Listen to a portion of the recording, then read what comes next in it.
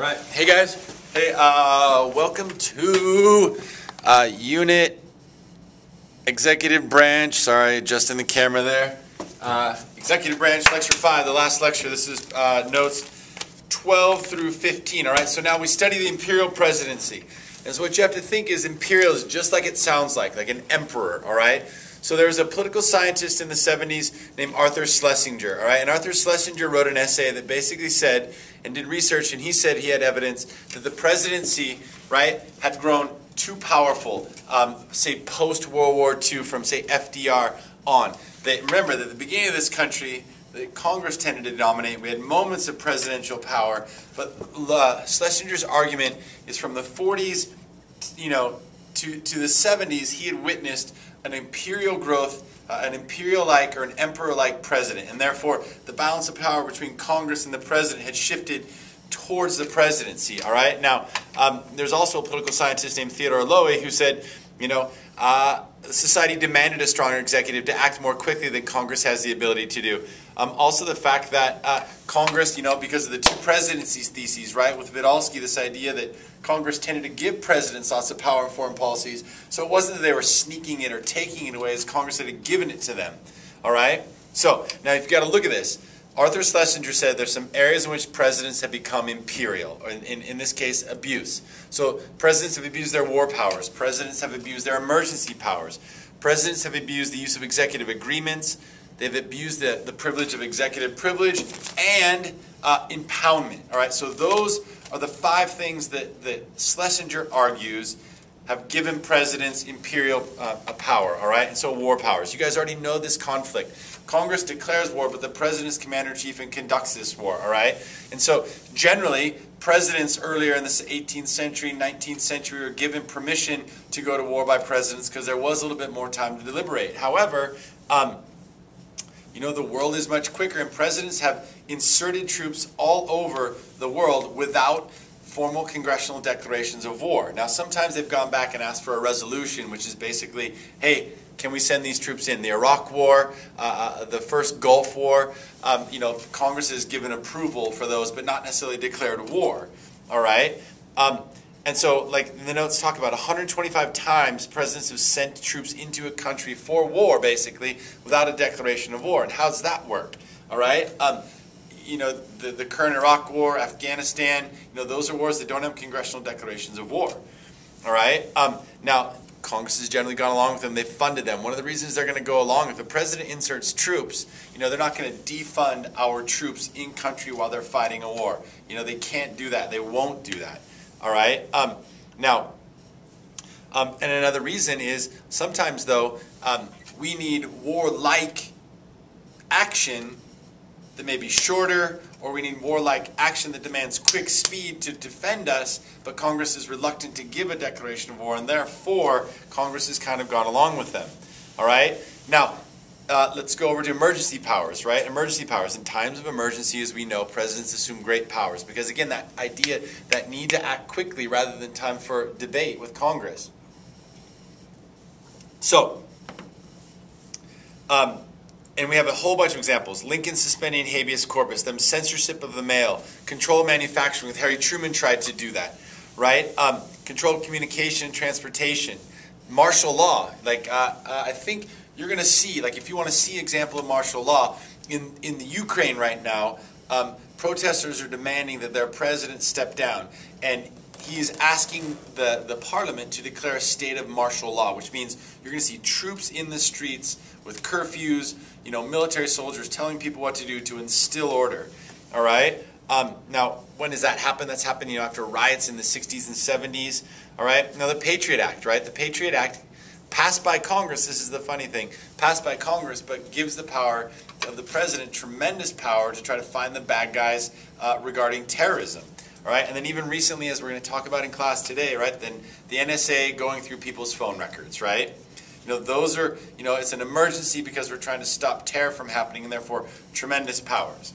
All right, now remember what an executive agreement is, right? An executive agreement, the third, um, instead of a treaty, it acts like a treaty, but what it doesn't need is the Senate's approval, right? And presidents have used these uh, numerous times. I mean, they, they clearly outnumber the number of treaties signed um, recently. All right, presidents use executive agreements to get things done quickly, and they can bypass Congress. All right. Um, now, this idea of executive privilege. All right, the definition is the president's right to not give up or divulge private or com- uh, confidential conversations between himself and his advisors, people in the White House staff, people in the Council of Economic Advice, or, or people in the Executive Office of the President, maybe even cabinet secretaries.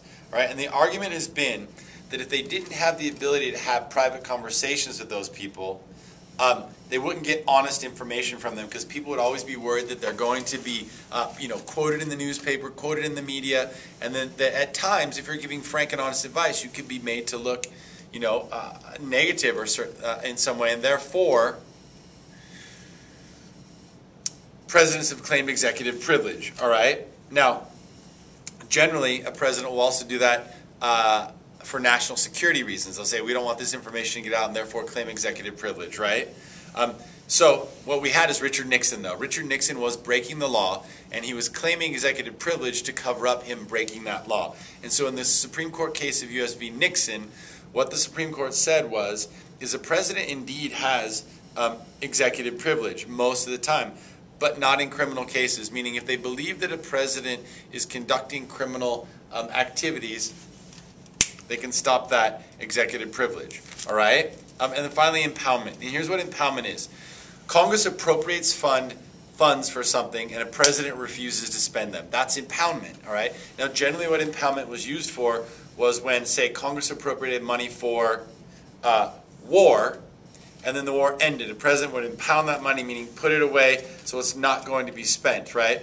Now, um, what's happened recently, or what had happened with impoundment, was especially with Nixon again, right? Is that a president was getting a law passed by Congress, and fund the, the funding was coming with it, and because the president didn't like that policy objective or what that law was doing, they just simply impounded the money and didn't spend the money, so the law didn't get carried out. You know, infuriating Congress. All right. So those are Schlesinger's five arguments for why a president has become too powerful. All right? Now, if you look at 14 and 15, it's kind of the response. How does Congress respond? Right? What do they do? You know, if they think in the 70s presidents have become imperial, what's the response from Congress to try to limit the president's powers or at least rein those powers in, right? All right, and, and Congress is trying to reassert themselves. And again, you guys got to think of this is like at the beginning of this country, where was power? How did it fluctuate? Where is it at from the 40s to the 70s? And then look now, we see Congress responding, all right? And the, the interesting thing is, Congress may respond here, which we're going to talk about. Um, but presidents still, you know, the speed in which the modern world works, you know, there is a demand for quick action, and therefore, maybe that means presidents will always have tremendous power in certain areas, and that Congress will just check it at times. And, and then you got to think that in the big picture before we look in these details. All this is on pages 14 and 15 is Congress is checking the power of the presidency, or at least trying to. Because remember that the Constitution is this invitation for struggle between the two branches. And the idea of this struggle between the two branches is voices will be heard, arguments will be brought forward, right? And, then ideally, as the framers probably wanted, this idea that no one would dominate, and therefore you would avoid tyranny, right? It may be slow, it may be ugly, it may be frustrating, but those are probably all better options than tyranny. All right, so uh, a couple things. Congress passes the War Powers Act to check the president's abuse of powers in war. Now, basically, and you guys have heard this before and you can see the details. Um, Congress, um, the president, if they want to send troops overseas to where hostilities are imminent without a declaration of war, they have to do these things. They have to tell Congress within 48 hours. They have to withdraw those troops after 60 days. All right, and they must consult Congress if the troops are to engage in combat. Um, does that make sense? And that Congress can pass a resolution not subject to a presidential veto to withdraw troops. Now, they, what that was trying to do is trying to get the president to converse with Congress, to get approval from Congress before inserting troops without congressional approval, or at least without Congress's um, you know, input on the matter, right? Like, and I would even say, think about, well, let's get there in a second. We'll, we'll come back to Syria. All right, but look at the criticisms. Is it unconstitutional? One, right? The president is commander in chief, and if he's using troops, he's using troops, and Congress doesn't have the right to them when or how. But they have the power to declare war, right? Okay.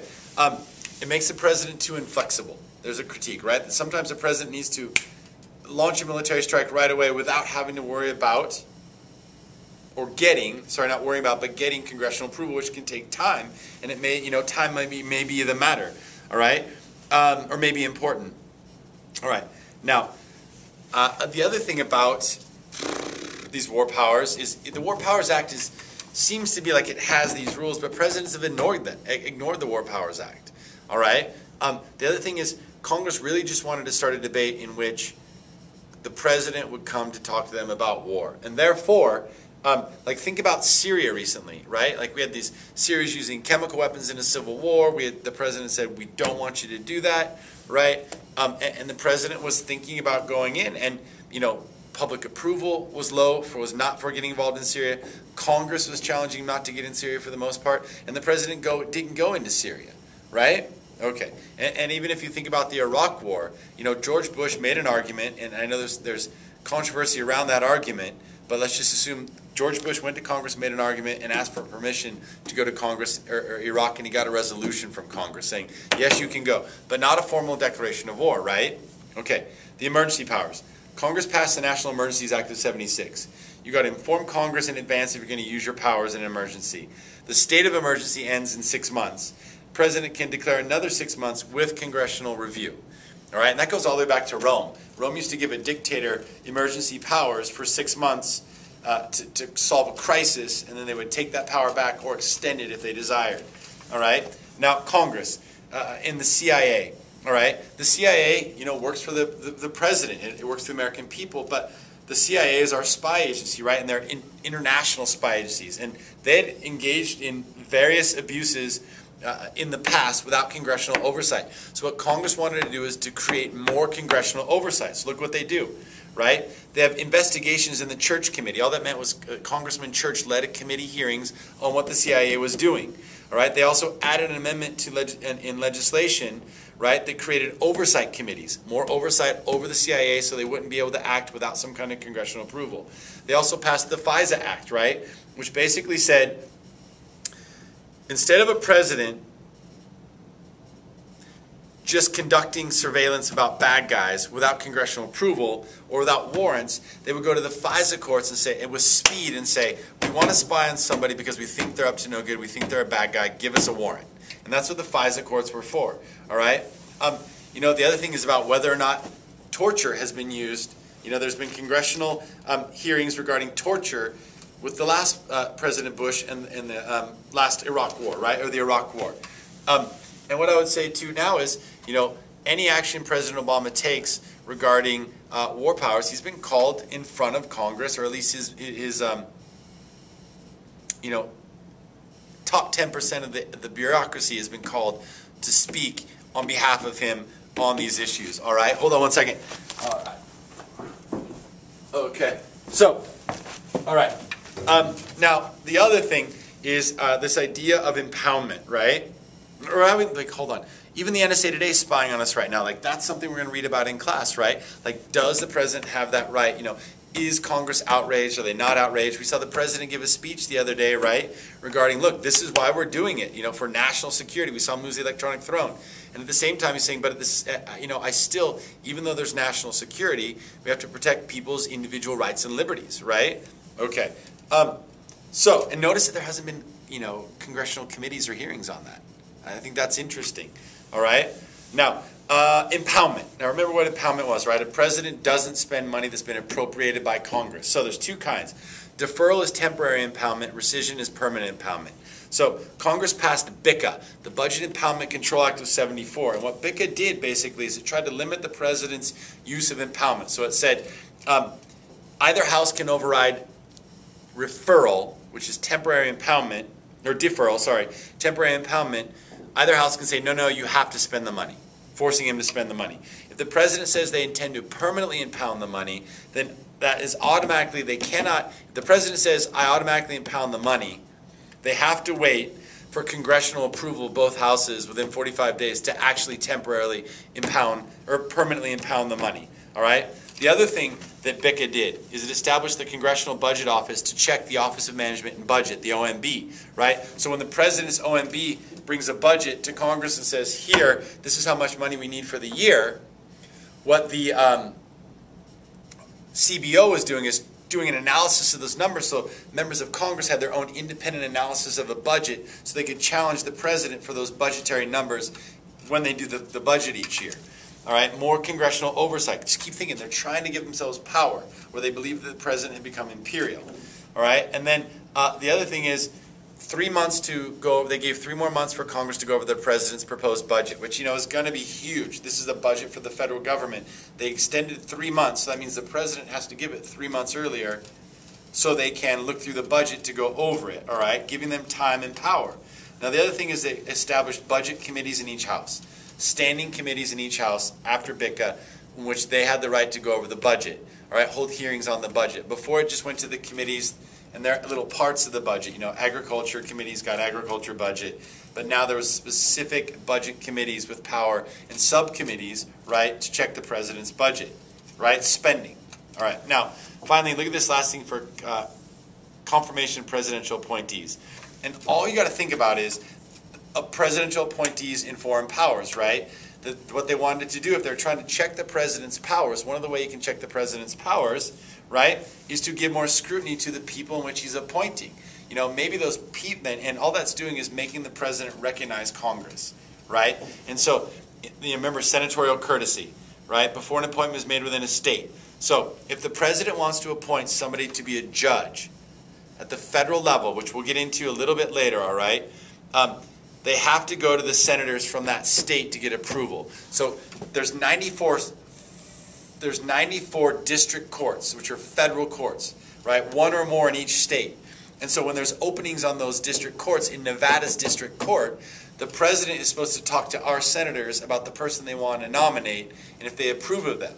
And if they disapprove of them, technically they're not supposed to appoint that person. All right? Senatorial courtesy. All right, now, um, the other thing is, there's been a lot more scrutiny on um, presidential appointments by the Senate. They're like, if the president's grown imperial in these powers, we're going to use this power of confirming nominees to challenge a president, right? To assert ourselves. All right. Um, the other thing is this idea of recess appointment. So the notes talk about this guy, John Bolton. So here's a recess, right? Congress is in recess, meaning they're out of session. The Constitution says that if there is a vacancy in the appointment position, during a recess, a president can appoint somebody without Senate approval. So the, the example in your notes is John Bolton from George Bush, right? Uh, but recently, um, we had uh, the head of the National Labor Relations Board, there was an opening, and President Obama had put somebody up for that, that spot, and the Senate had not acted on that spot. And so the president, um, out of frustration, at feeling they weren't going to act, waited for a recess and then appointed that person to the position, right? Now, there's a time limit how long they can serve because of recess appointment. But that actually made it to the Supreme Court. The Supreme Court is hearing that case regarding whether or not the Senate was truly in recess or not. All right? So that's a way to challenge. Now, the other thing is this idea of rule of fitness. Remember, rule of fitness was simply if you wanted someone to be a judge, you wanted someone to be the Secretary of State, you wanted someone to be, uh, 10 minutes, guys. If you wanted somebody to be um, appointed to position, it was usually the rule of fitness. What that meant is, did you have experience, right? Were you experienced? Were you intelligent? Did you have the, the, the tools to do the job? All right? Now what's happening is instead of just looking to give a president their top 10%, you know, based on the rule of fitness, what they're looking is, well, how would you rule on this? What is your ideology? What are your politics? What's your background? Right? Like they're looking more than just the rule of fitness, but their policy or ideology and really giving scrutiny that if they don't like the ideology, they're going after it. This is both D's and R's, all right? Um, which I think that's the world in which you've grown up in, that Supreme Court nominees and presidential appointments, you know, the ideology of those people matter, all right? At least to the Senate as they reassert their power, all right? And then, again, the use of hold is another way to challenge nominees, all right? All right, and then let's get back here. Okay, the legislative veto, all right? So this is going to tweak your brains a little bit, all right? So Congress passes a law, right? And the president's job is to carry it out. But a step you're going to really learn in the next unit is this Congress passes a law, the relevant federal agency that's in charge of carrying out that law in the executive branch will write something called rules and regulations. Those rules and regulations are essentially how the law is going to be enforced. And there's some power in writing those rules and regulations. Now, sometimes rules and regulations can be written in a way that contradicts the intent of the law, especially if we have divided government, right? So, in the past, what happened is Congress could look at those regulations in oversight hearings and go, we don't like that, get rid of it. Boom, done. However, all right, that was called the legislative veto. When they vetoed rules and regulations, the legislative branch vetoed rules and regulations written by the executive branch, right? Now, that's a violation of separation of powers because once you give a piece of legislation to a president, it's their job to carry it out. If you want to be carried out a certain way, write a more specific piece of legislation, right? So you have a case called INS v. Chadha, all right? And in ISV Chadha, um, basically they said it violates separation of powers, right? And you cannot use the legislative veto Congress. Think about it. The words legislative veto seem to be repugnant to separation of powers, all right? Okay. Now, finally, there's a few other things that I think you should hear about. Uh, think about this. Um, appropriation powers. Congress always has the power to take away funding if they don't like something, right? Congress can always hold hearings, investigative hearings, right? Congress can always write new legislation, all right? Congress can have bigger uh, criticism, bigger debate. They can use their powers to challenge a president if they desire on foreign affairs. It's just in the past they generally didn't. But when Schlesinger writes this essay, they're rethinking should we challenge a president more in foreign affairs because they've grown imperial like. All right? So, uh, you know, think about again Syria. President Obama, you know, heard from everybody challenging him about what to do in Syria. All right? Um, let's see. I think, you know, uh, right now, right, there's uh, criticism of the Patriot Act and the NSA without going to the FISA court first. We're having a debate regarding the NSA. The president gave a speech on the NSA because people have challenged that power, and so therefore they're reasserting and trying to check that power. All right, particularly Congress. All right, uh, all right. That's it, y'all. See you in class.